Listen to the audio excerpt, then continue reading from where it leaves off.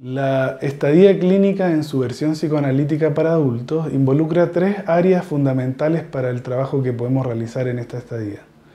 La primera, asociada a la atención clínica con pacientes con una frecuencia generalmente semanal.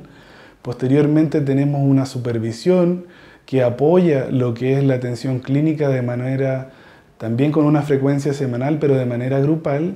Y además, con una frecuencia semanal tenemos un grupo de estudio asociado a la teoría y la técnica psicoanalítica.